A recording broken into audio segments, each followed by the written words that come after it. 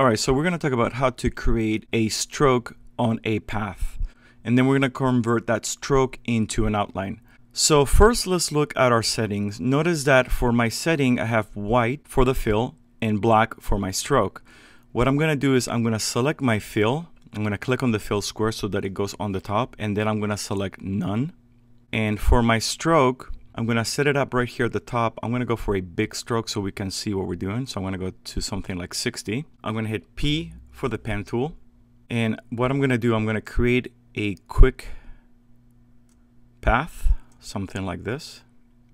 And to get out of the path tool, I'm going to either hold the letter A, which will give me the direct selection tool, or hold the command key on a Mac, control on a PC, and I will access that direct selection tool and I can click on the background.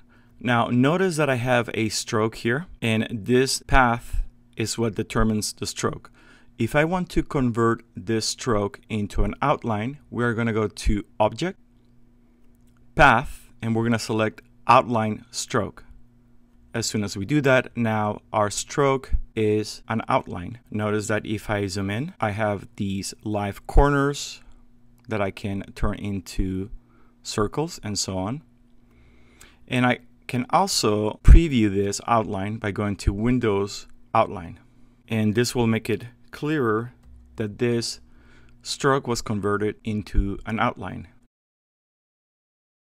Now we can combine multiple outlines. If I was to, for example, select this path right here and I go to edit, copy, and then I'm going to paste it in place it looks like nothing has happened that but if I open my layers let me move my layers right here and let me make my icon bigger by going to the options for the layers and then go to panel options and then under other type in 100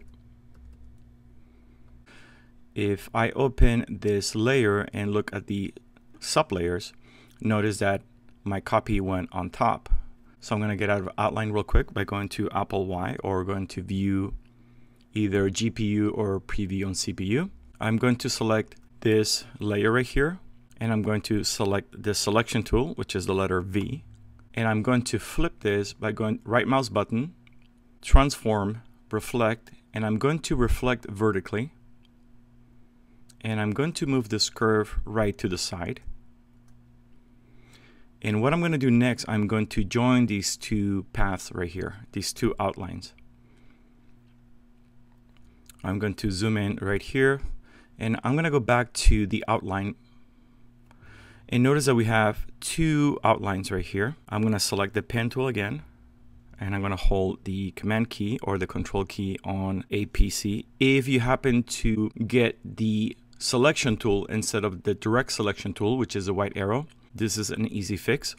Hold the letter A, click somewhere in the canvas, and now when I hold the letter P for the pen tool and I hold down the command or the control on a PC, I get the direct selection tool. Now I cannot join these two outlines right here because these outlines are closed. So what I have to do, I have, I have to delete these two paths. I did a click and drag. And now what I can do is I can zoom in and if I click from one end to another end, I close my curve. I can do the same thing right here. I can go from this end to this end and now my icon will have a little circle on the bottom right. That means that I'm gonna close this open outline and this is how we convert strokes to outlines and then how we can join multiple outlines together